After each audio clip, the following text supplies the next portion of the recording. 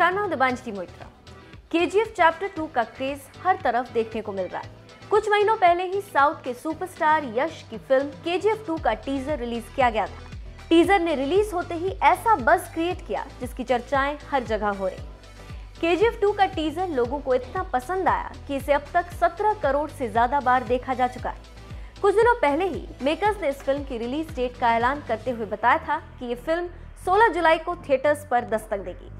जैसे इस फ़िल्म की रिलीज़ डेट का ऐलान हुआ, उसके बाद से ही इस फ़िल्म को लेकर तरह तरह की खबरें आ रही।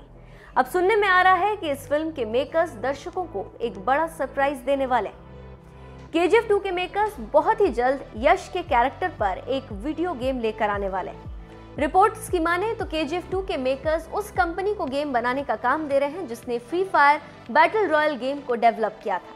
दरअसल ये game triple one dot studio ने बनाया था। जो अब यश के कैरेक्टर पर गेम बनाने वाला है। यहाँ आपको ये भी बता दें कि मेकर्स की तरफ़ से इस तरह की खबरों पर कोई कंफर्मेशन सामने नहीं आई।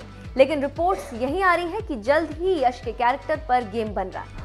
अगर ऐसा होता है तो वाकई में फैंस के एक्साइटमेंट का लेवल बढ़ने वाला है। वैसे आपको बता दें कि प्रशांत नील के डायरेक्शन में बनी ये फ़िल्म पिछले साल ही अक्टूबर में रिलीज़ हो जाती। लेकिन कोरोना के चलते फ़िल्म की रिलीज़ डेट को टाल दिया गया था। फ़िल्म में यश के साथ साथ संजय दत्त रवीना टंडन और श्रीनिधि शेट्टी जैसे स्टार्स भी नज़र आएँगे। कुछ दिनों पहले ही ऐसी खबरें आई थी कि इस फ़िल्म के राइट्स की डील काफ़ी बड़ी रकम में हुई।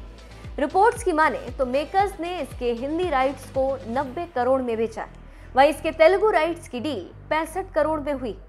फ़िल्म का क्रेज लोगों में ऐसा है कि कुछ दिनों पहले ही यश के फ़ैन ने पीएम मोदी को एक लेटर लिखकर 16 जुलाई को नेशनल हॉलीडे की मांग की थी।